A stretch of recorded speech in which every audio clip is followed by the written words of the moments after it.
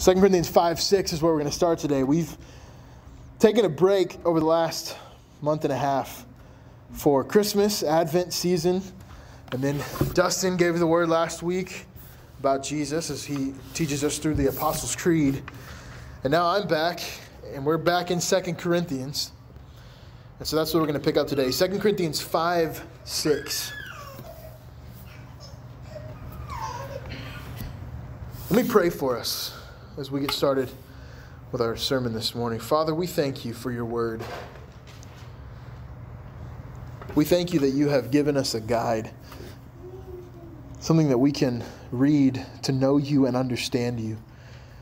Lord, we thank you that we are not left to our feelings or to our own understanding, but that you have given us a clear word in the Bible. We ask this morning as we read it that you would give us understanding that you would make clear what may not have been clear to us already. That we would see you for who you are and that you would, we would see ourselves in light of you. But we ask that as we read this morning, as we ponder your word, as we spend time thinking about it and spend time with it, that you would make us confident and courageous, that we would be ready for whatever comes our way in Jesus. Lord, and that you would make us people who please you that you would reset, maybe for some of us, the orientation of our lives to glorify you. We love you and we ask all these things in Jesus' name. Amen. So, this morning as we get started, I want you to think about this. This is not a test question. This is not, don't give me an answer. Just think about it. How confident are you how courageous do you feel? Can you approach difficult situations with the confidence that Christ is with you? Or do you find yourself afraid? This is kind of a gut punch question for me because I wrestle with this a lot. I think most of us do. Confidence can be hard to come by in a fallen world where things go wrong, where people we love betray us, where we get hurt, where we lose our job, where our car breaks down. Confidence is not something that comes naturally in our world. And yet, the Bible tells us over and over again to be confident, to have good courage. And these things are related. And we think of courage so often as somebody going to war or somebody giving their life for another person. But the truth is, it takes courage just to live. We face things all the time that are frightening, that are fearful, that are difficult, that may seem overwhelming, and yet the Bible says over and over again that we should not be afraid, that we should have good courage, that we should be confident. Maybe you've heard it said that confidence or courage is not the absence of fear, but it's doing the right thing even though you're afraid. What I'll tell you is the biblical definition of courage is something more, something different. It's not the absence of fear, but it is what happens when fear meets faith. That's what biblical courage is. And so this morning, that's what we're going to talk about. We're going to talk about the confidence that God promises to us and why it is that we can live confidently. And more than that, why it is that we ought to live to please God no matter what it costs us in this life. Let me read our passage for us today 2 Corinthians 5 6 through 10 says this. So we are always of good courage. We know that while we're at home in the body, we are away from the Lord. For we walk by faith, not by sight. Yes, we are of good courage, and we would rather be away from the body and at home with the Lord. So whether we are at home or away, we make it our aim to please Him. For we must all appear before the judgment seat of Christ, so that each one may receive what is due for what he has done in the body, whether good or evil. There's a lot of things going on here, even more than confidence. But that's that's sort of the the the hinge point of all of this, the thing that we're going to build all this on top of, because that's what he says. We are always of good courage. That's how he starts this paragraph. Now, if you remember, six weeks ago, he begins chapter 5 by talking about death and resurrection, by saying that in this body that we're in, we groan. He says that several times that we groan in, in this world, in this physical body that we're in, longing to put on the eternal, immortal body. And we said that that groaning sometimes is a literal groaning, sometimes it's figurative, but sometimes it's literal. Sometimes you get out of bed and your foot hurts and you groan.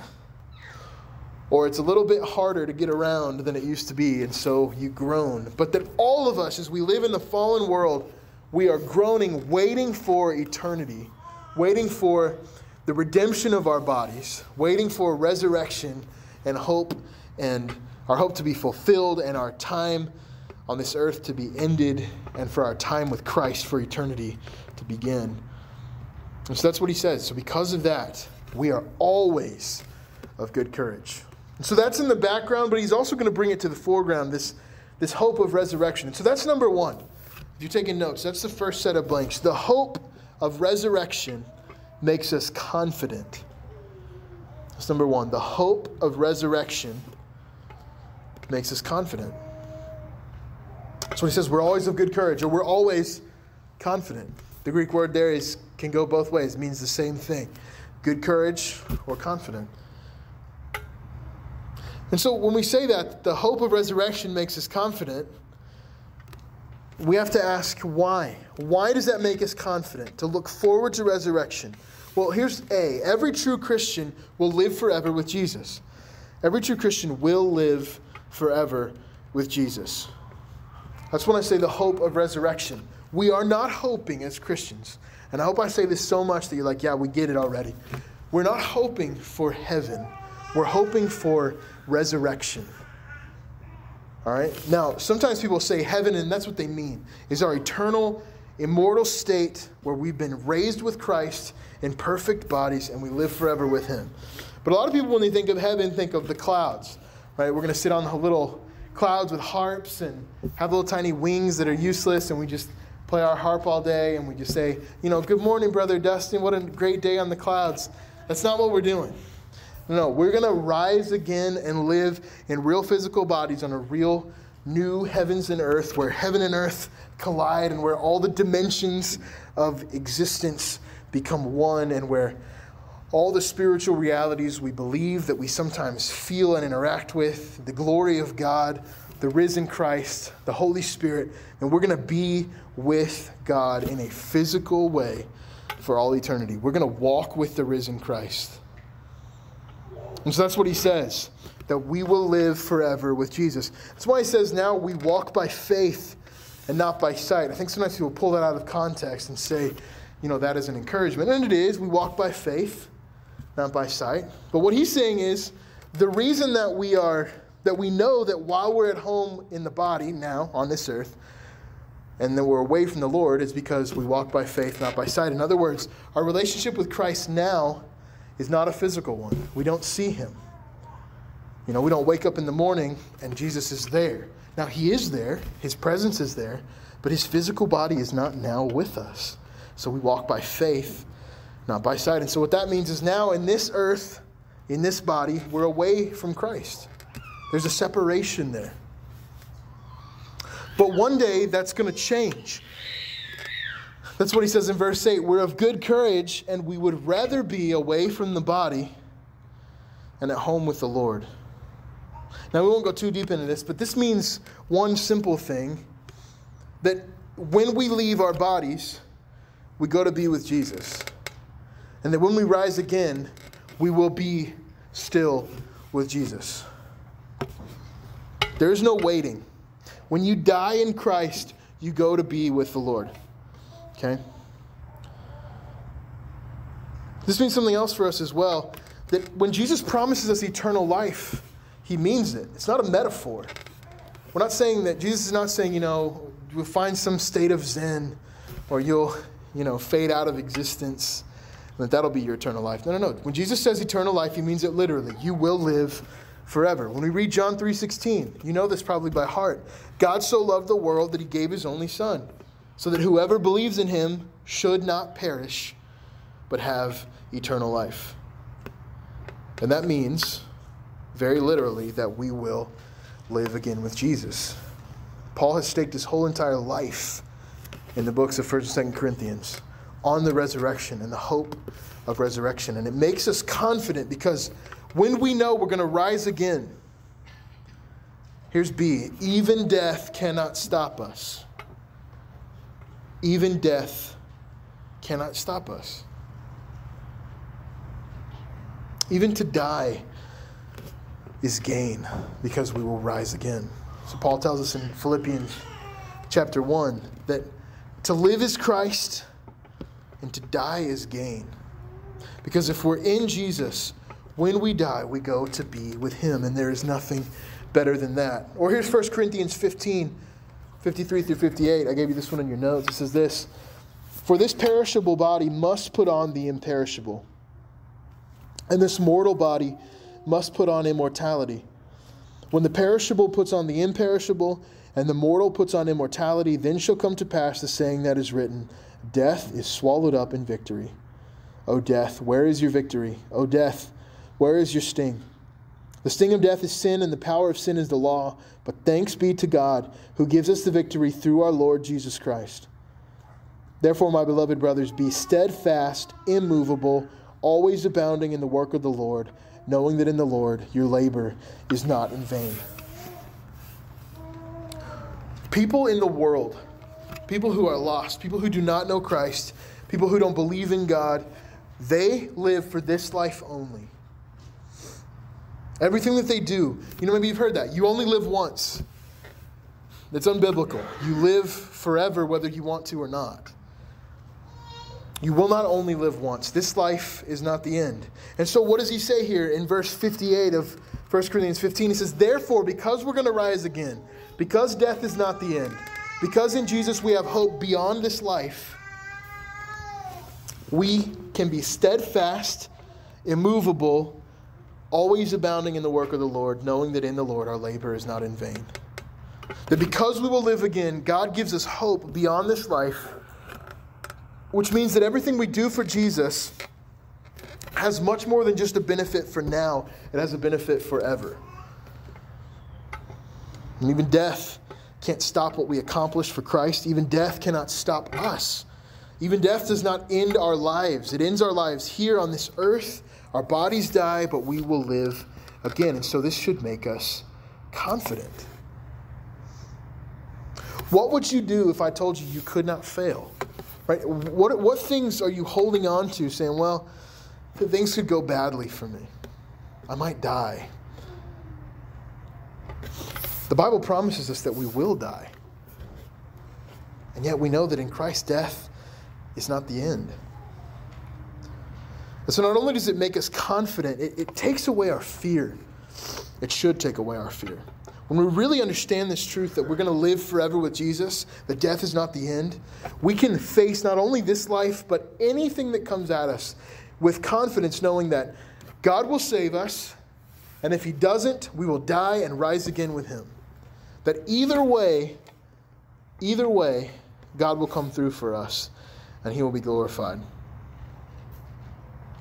So, the hope of resurrection makes us confident. And then, because we will live again, it changes the aim of our life. So, we can be confident facing this life, but also because we're going to live forever, it changes the aim of our life. We're not just living for now, we're not just living for ourselves. We're not just living to make other people happy. We live for something greater. We have an actual purpose beyond this earth. So here's number two the aim of our lives, the aim of our lives should be the glory of our God. I'll say that again. The aim of our lives should be the glory of our God. That's what he says, verse 9.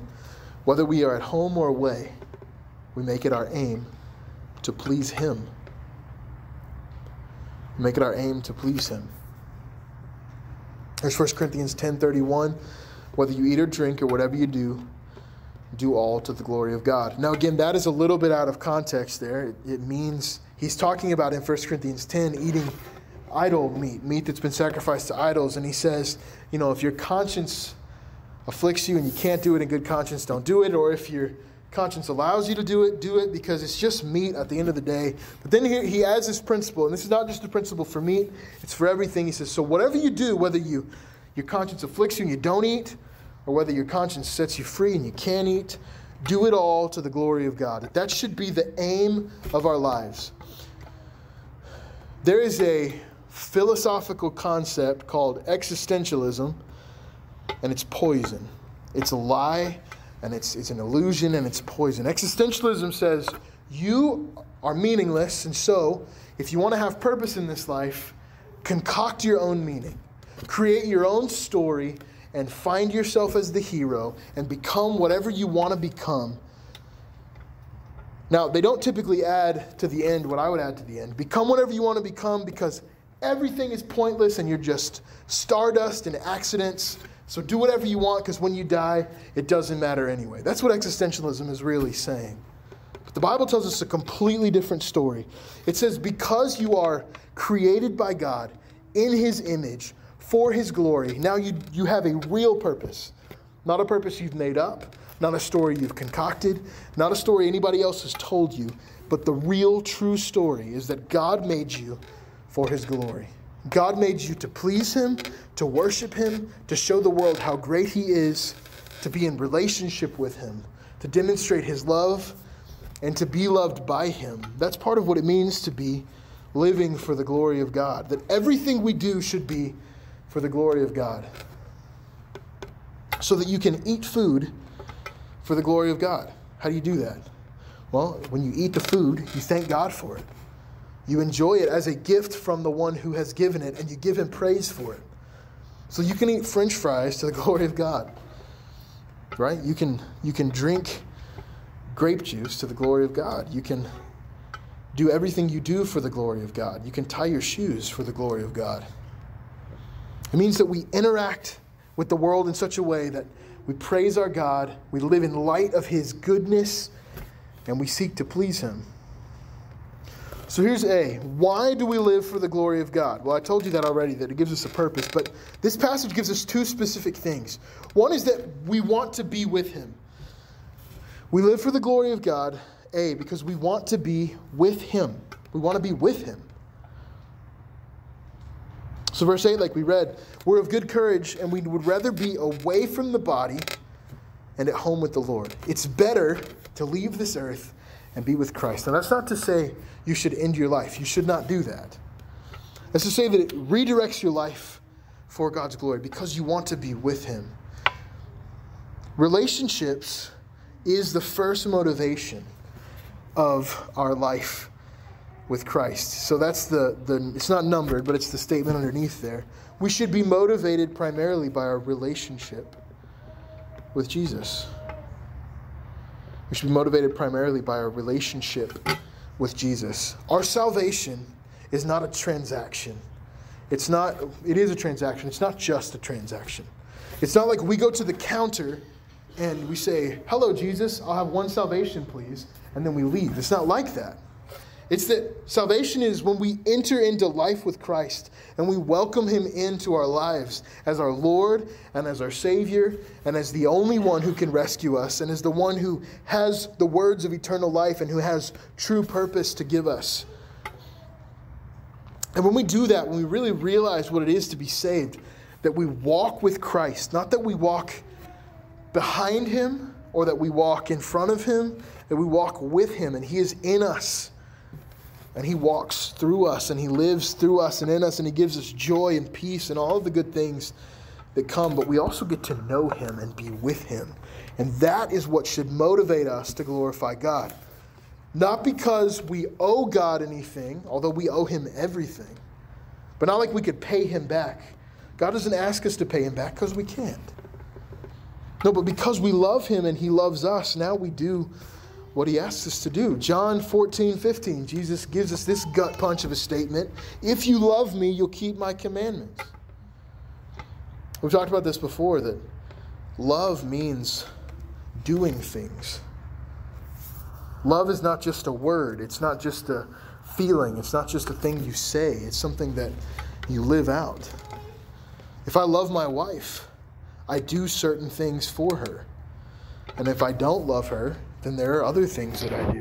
If I love my wife when she says, Hey, would you mind doing the dishes? I say, Yes, because I love you. Now, think about this. If, if she says, Would you mind doing the dishes? And I pull out my phone and I say, All right, hold on just a second. Let me check and see if I owe you any dishes tonight.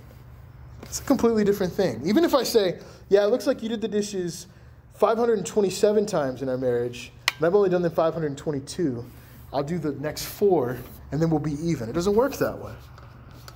I say, no, because I love you, I'll do the dishes. Or if I brought her flowers, and she says, why did you bring me these flowers? And I say, well, you know, it's what you're supposed to do, I guess. It ruins it, right? But if I say, I brought you these flowers because I love you, changes things. And so the primary motivation of our lives, of our obedience to Christ, should be our relationship with Jesus.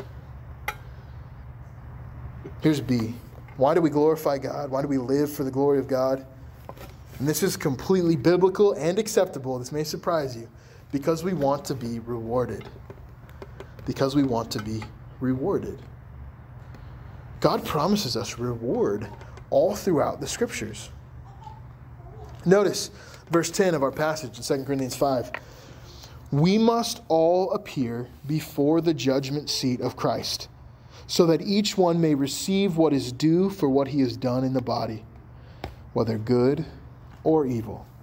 Now, this is important here. It's important that we notice this. He says we must all appear, for one, and he says we must all appear. He's not just talking about unbelievers here. Every single one of us will appear before the judgment seat of Christ. Now, that shouldn't make us fear if we are in Jesus, if we are trusting in Him as our Savior, as the one who can take away our sins, as the only one who can take away our sins. If we're in Jesus, that should not make us fear. That's not the, that's not the idea.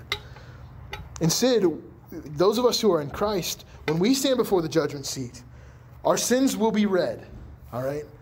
And yet, they will be washed away. We will be counted not guilty, even though we are guilty. So we're not going to receive punishment from God at any point because for those of us who are in Jesus, every single punishment for every single sin for all of our entire lives has been laid on Him and it has been dealt with. So when you read that, I don't want you to think, oh man, God's going to weigh my sins against my good deeds and I'm going to be in trouble because we're all in trouble.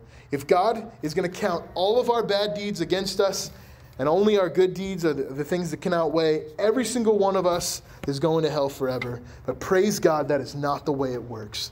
It's been paid for in Christ. So if you're in Christ, you will stand before God's judgment seat, but you will be counted not guilty.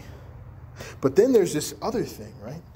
He says we make it our aim to please Him because we're all going to stand before Him and we're going to be rewarded. Those of us who are in Christ, again, will be rewarded for the good things that we do. This is not the only place that says this. Here's 1 Corinthians 3 10 through 15. Now, this is speaking specifically to church leaders, but again, there's a principle here for all of us. So he says this According to the grace of God given to me, like a skilled master builder, I laid a foundation, and someone else is building upon it. Let each one take care how he builds upon it. For no one can lay a foundation other than that which is laid, which is Jesus Christ. Now, if anyone builds on that foundation with gold, silver, precious stones, wood, hay, straw, each one's work will become manifest, for the day will disclose it. Because it will be revealed by fire, and the fire will test what sort of work each one has done. If the work that anyone has built on the foundation survives, he will receive a reward. If anyone's work is burned up, he will suffer loss, though he himself will be saved, but only as through fire. Let me explain this a little bit. So, like I said, in the context, he's talking about building up the church. He's talking to church leaders because I don't know if you remember in 1 Corinthians, they had split up into these factions and they said, you know, I'm on Dustin's team, I'm on Josh's team. And some people thought they were extra holy and they said, well, I'm on Jesus' team. And Paul says, no, Christ is not divided. We don't do that. We're all, all the church leaders, they're just building on the foundation that was laid. And so, they need to take care of how they build on it. They're, God's going to test what they build. But this, this principle exists for all of us, right? That we have a foundation. There's only one foundation you can build on it's Jesus. If you build your building on anything besides Jesus, it's all going to be destroyed. Nothing's going to last. It doesn't matter what good things you do, if you don't have the foundation of Christ, it's worthless. But if Jesus is your foundation, then we enter into a new situation where now we get to build on that foundation. And he says, All right, take care how you build. If you use gold and silver and precious stones and you build something amazing for Jesus, then you're going to be rewarded. But if you build with wood, cheap wood, and hay and straw, and it's all going to burn up, you're not going to be rewarded. So, what that means is this if you are saved, if you're in Christ, say, man, Jesus is my Savior, I'm washed clean.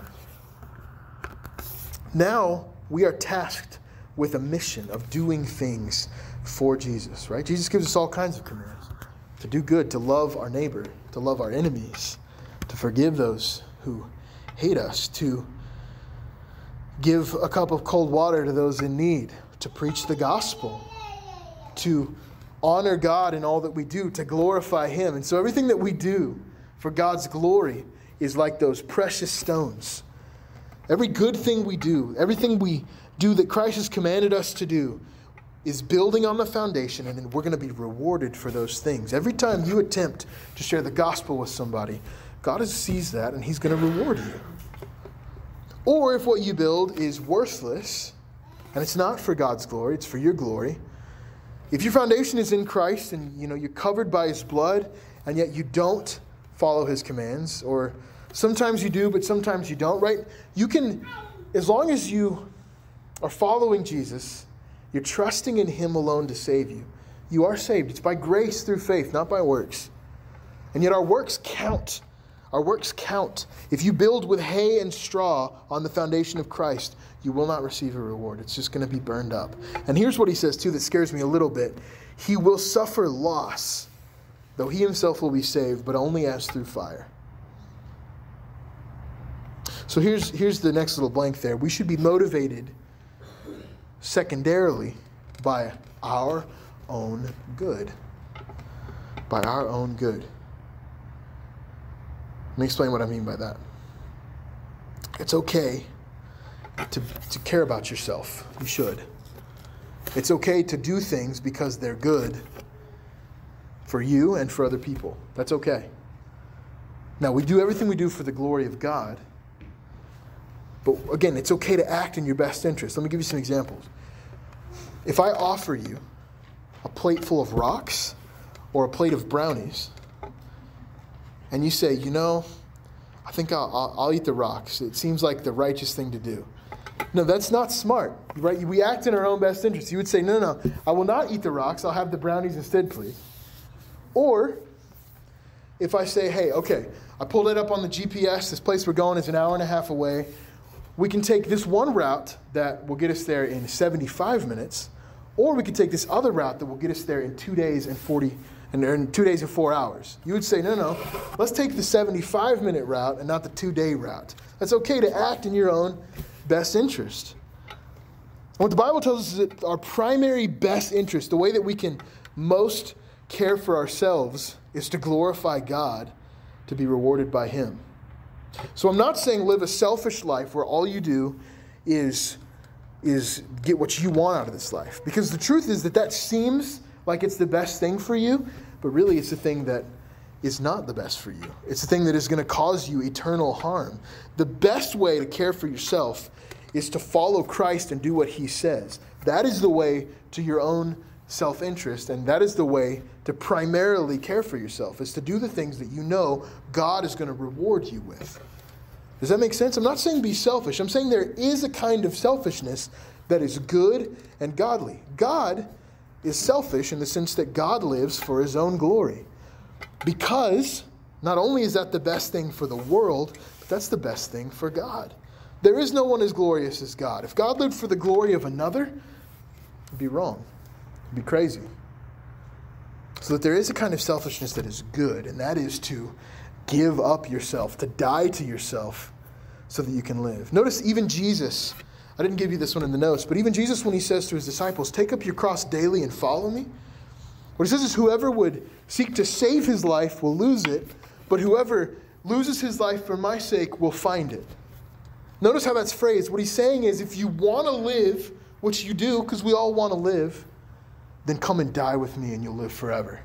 So you notice that even that is phrased in a self interested way. That because you want to live, come and die with me. Because if you want to live, The worst way to live is to live for yourself on this earth at the expense of other people, because then you're going to die forever. Here's Matthew 6 19 through 21. Again, this is an appeal to our self interest, and it's not, not a wrong one. Jesus makes this appeal. He says this Do not lay up for yourselves treasures on earth, where moth and rust destroy, and where thieves break in and steal. But lay up for yourselves treasure in heaven, where neither moth nor rust destroys, and where thieves do not break in and steal. For where your treasure is, there your heart will be also. Notice what he's saying there. It's good and right to lay up treasure for yourself. But he says the difference is where you're laying it up. If you're hoarding it on earth when you could be doing good and glorifying God with it, it's going to burn up and rust, and thieves are going to steal it. But if you want to make a really good investment for eternity, the best thing that you can do is to lay it all up in heaven. And the way we lay it up in heaven is by giving it away for the glory of God. By spending ourselves for the glory of God, we make a, a spiritual currency exchange where we turn our treasure on earth into treasure in heaven. And that's, again, that's for our own self interest, and that is okay. That is okay because that is what is ultimately good for us. And because God is so wise, what is ultimately good for us is also what's best for everyone else and for God. Here's Matthew 25, 21. Jesus has given this parable. Let me, let me give you a paraphrase of the parable. He says, There are three servants, and the master of those servants is going away. And he gives each of the servants a different amount of money. He gives one of the servants 10 talents, which is just a bunch of money. He gives another servant five talents, and he gives another servant two talents. I think. Yes, that's right. One or two. The master goes away. The guy who has the 10 talents, he takes it, he invests it, and he makes 20 talents. So now he's got double his money. The guy who had the five talents, he does the same thing. He invests it, and it comes back at, I think it's 10 talents. And then the third guy who was given two talents, he goes and he buries his money. And he says, Well, at least I didn't lose it. So the master comes back and he says, How did it go? I gave you this money. What did you do with it? The first guy, he says, who had the 10 talents, says, I made 20. The master looks at him and he says these words. And again, Jesus here is talking about us with God. He says, Well done, my good and faithful servant. You've been faithful over a little, I'll set you over much. And here's the best part enter into the joy of your master. Second guy, five talents, turns it into 10. Same situation. The master says to him the exact same phrase in verse 23 Well done, good and faithful servant. You have been faithful over a little, I will set you over much. Enter into the joy of your master. Then the third guy who buried his money the Lord says to him, basically, you failed me. I gave you the opportunity, I gave you these talents to go and use for my glory and for your own glory, and yet you wasted them. You buried them. And I think he turns him over to the jailer to be jailed. And then Jesus turns around and he says, Guys, look, duh, this is obviously about you and God. I don't just tell you these stories for my own benefit. And, that, and that's what it's about for us. We are the servants who have been given much. You may not feel like it, but if you live in America, you are one of the richest people in the world. We have been given so much, not just in money, but also in time and talent and ability. Whatever God has given us, He's given us for a purpose to glorify Him, to bless other people, and to store up treasure for ourselves in heaven. God often does not pay in worldly things. Sometimes He does. Sometimes God's blessings look like worldly things, and that's okay, but not always. The problem with the prosperity gospel is not that they're completely wrong, it's that they have the timeline mixed up. The prosperity gospel says, you give and God will give back to you now. Right? If you sow your ministry seed, then God will give you the car that you want, He'll pay off your debts, He'll give you the house you want. But the Bible doesn't say that. The Bible says, give to God everything you have, all that you can afford to give Him, and He will pay you back for eternity. Not now, not here on this earth. You can't manipulate God into getting the things you want by giving a ministry seed. But God does say, plant your seed for eternity, lay up your treasure in heaven. Give it away, and it'll be given back to you forever. I think about the rich young ruler who came to Jesus and he said, Good teacher, what must I do to be saved? First thing Jesus says is, Why do you call me good? No one's good but God. But then he says this He says, Come follow me. Sell all your things. Come follow me. And the guy looks around and he says, Well, can't do that. He says he went away sad because he had great wealth. Jesus said, Sell all you have, come follow me. And he had all of his stuff, and he said, I'd rather have my stuff now than have you forever. So then the disciples look at Jesus and they're like, What about us? So we, have given up everything to follow you, which is it's kind of a baby response, but you know, they're the disciples, they don't know a lot yet. They say, We've given up everything. And Jesus says, Yes, and I tell you, no one will lose anything for my sake, except that it will be repaid to him on this earth sixtyfold with persecutions, and then a hundredfold for eternity. Like God blesses primarily forever. If the rich young ruler had been willing to give up what he had, he would have gained more than he could have possibly imagined. He would have suffered in this life and he would have been crowned with glory for eternity. And yet he went away sad because he missed it.